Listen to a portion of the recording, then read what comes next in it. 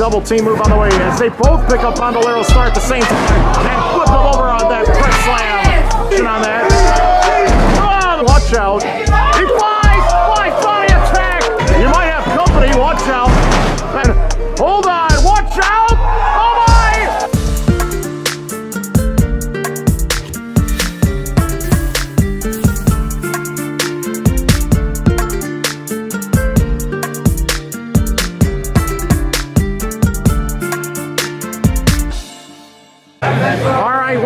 Featured attractions of the evening, a Lucha Libre tag team battle. So much has happened since the last time we've had Lucha Libre in North American Pro Wrestling.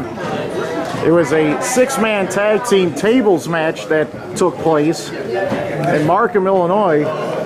In that bout, it was three against three. Tonight, two against two. And Bandolero Star and Eragon are looking to exact some revenge against Funebre and Yakuza. And what we're going to see here is going to be some high flying and a lot of interesting technical grappling. And what's interesting about this is clearly there is a size differential between the two teams. Funebre, a heavyweight, also a multiple sport athlete, has boxed. He's also played soccer previously. Has a huge arms, huge chest and back. His tag team partner Yakuza is equally adept to the challenge. Lucha Libre rules, technically in effect, tags do not necessarily have to be made, but ultimately, if a body leaves the ring, another member of the team can participate on behalf of their team to interject at any point of time. Here we go. We start with Eragon against Yakuza. Yakuza, a very technical grappler who likes to outthink the competition and knock them down, and Eragon taking control of Yakuza in the early going. Back heel trip as he rolls Eragon backwards to his feet. Connects with the side headlock takeover. Lucha Libre tag team action. At any time in this bout, it could get a little out of control with as many as four bodies involved at one time. You better watch out. If one of those bodies starts to fly outside of the ring, it might take out one or more of the opposition, maybe even several chairs in the crowd.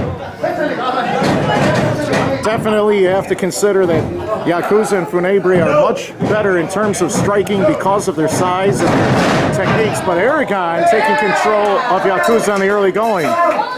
You don't want to blink at any time during these battles because at any time you could see new partners, new results at any moment. The kicks and the strikes that are exhibited by each of the members of this bout could be impressive.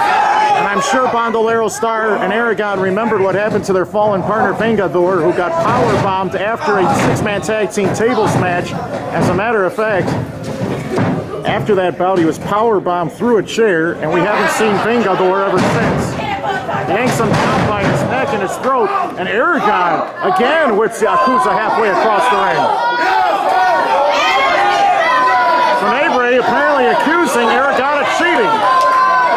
Wait a minute, you can't do that. Give me a break.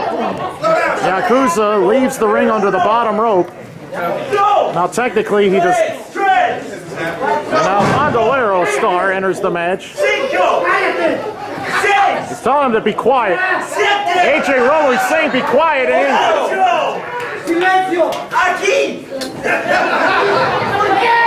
Ten! All right, so as, as a matter of fact, with the Lucha Libre rules, as long as one member of the team is in the ring, the match can continue. Funebre trying to provide a cheap shot in the direction of Eragon as they lock up. Go behind by Funebre. Funebre might have the weight advantage on Bandolero Star by 90 pounds. Nice judo throw by Funebre. Yanks him to his feet by using one arm. Bandolero Star yanked down, tripped, and then Funebre rolled backwards almost onto his head. Side headlock is applied. Bandolero Star to the ropes. Both men collide. Bandolero Star tries again. Elevated. Over. Nice snap, snapping head, head snap mirror over the top, sideways onto the mat below. Bandolero Star reverse to the ropes this time. Funebre elevates Bandolero Star. Ugly arm drag. And then immediately does the handstand into the nip up. Great athletic talent exhibited by Bandolero Star. A ton of athletic ability. And everyone knows that Bandolero Star and Eragon will take a lot of risks, maybe too many risks in order to win. And this time, will they have enough help or are they outnumbered too often? That's what happened in the recent six-man tag team bout. I have not forgotten about what happened in Markham. Yakuza back in the ring with Eragon. Kick to the left knee. That might have just crippled the opposition as finally Yakuza has kicked it into gear. Rematch has already been set for December the 6th, the tag team tables match. My goodness, Eragon trying to fight back out of this. But Yakuza picks up Eragon, flips him backwards over the ring, and still gets yanked down by the arm. Block of the strikes. The fingers interlocked. Eragon tried to climb the ropes, almost fell. Nice wrist lock takeover. Yakuza just got rolled underneath the bottom rope to the outside. It was a belly-to-belly suplex that Bandolero Star suffered through a table on top of Eragon and Vengador in Markham. Nice arm drag down goes Funebre. Funebre collides into Bandolero Star. Forward roll into a head scissors takeover. Bandolero Star drop kicks Funebre and sends it to the outside.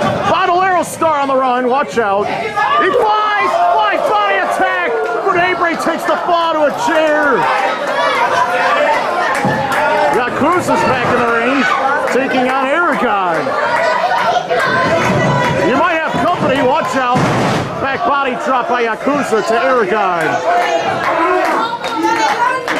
If the action's coming near you, you gotta get up and move out of the way for your own safety. It only makes sense. Yakuza nearly took the head off of Eragon. And a lot of the children of the world were frightened for their lives. Now the double teaming is about to ensue between Funebre and Eragon. Off the top rope through the table and on to two others. Bandolero Star not forgotten about it. And now that has another adversary on his side, Yakuza, that might add to the extraordinary advantage that is shared between Yakuza double hip toss. Down goes Eragon.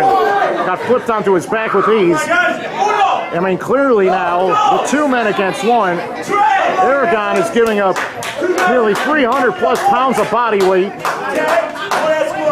Um, AJ Romo is being mistreated. The luch, the luch, these luchas are doing whatever the heck they want. Oh no! Oh, they spread his legs. Oh, they kicked him right there in. They just kicked his bottom. He might, he might be squirting all sorts of different things later. My goodness, this is unbelievable. Here's Bandolero Star back in the ring as a tag is made. Bandolero Star being shoved across the top rope by Funebre, and then Funebre using that boxing background to throw those right-handed hooks right there underneath the rib cage. Yakuza kicking at the same time. Double team move on the way as they both pick up Bandolero Star at the same time that press slam. Nobody can stop Funebre. Nobody can stop Yakuza. It's two men, too many, and the fans know it. Not enough.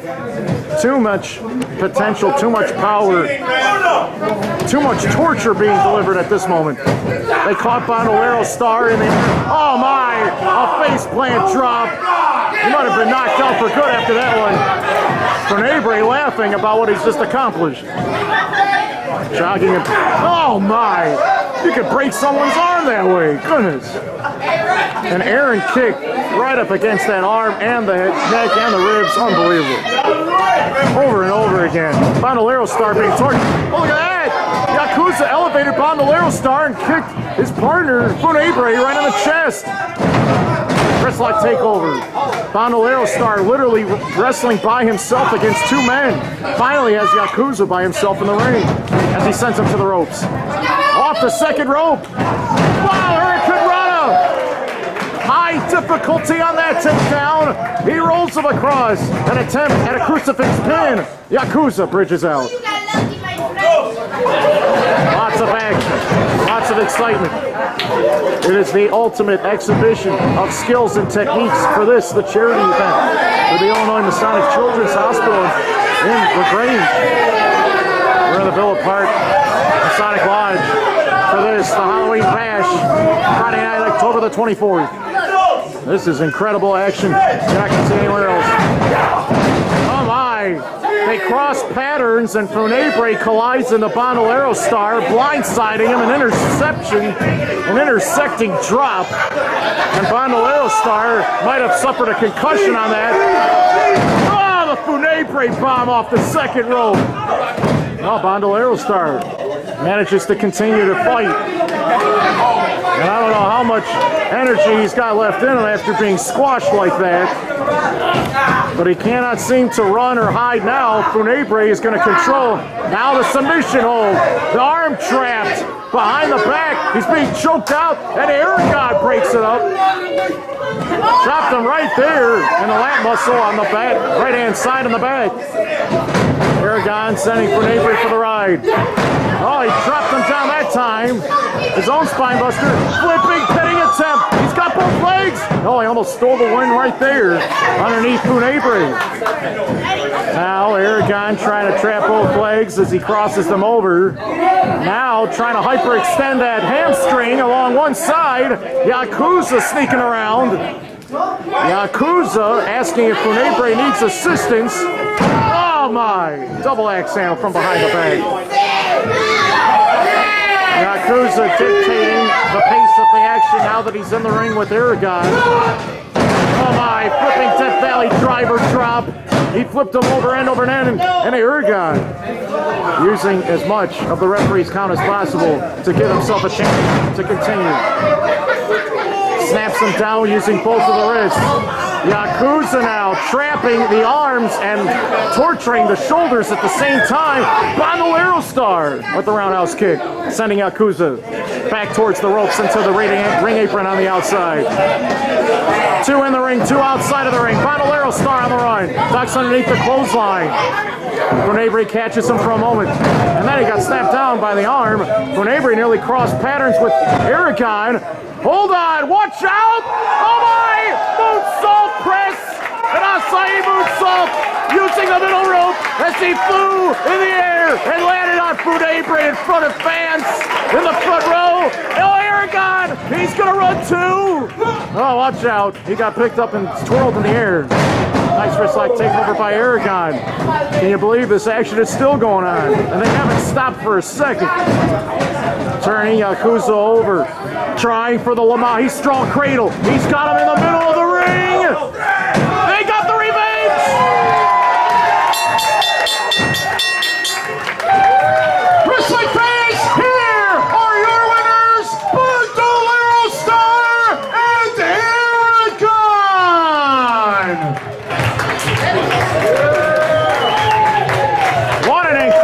victory at the end. Bandolero Star hit that springboard moonsault off the second rope. A death-defying drop. The risk leads to rewards. Funebre was taken out of the bout. And then Eragon snuck around Yakuza and hooked every limb he possibly could find. And he suffered the defeat. Great battle between two battle-tested tag teams. Bandolero Star and Eragon get some revenge. North American Pro Wrestling, Lucha Libre Tag Team action. And Funebre says he wants to blast AJ Romo right in the head. The fans want to see it. The referee doesn't deserve this. He, he embraced the referee and he embraced Yakuza. Hey fans, another round of applause for Funebre and Yakuza!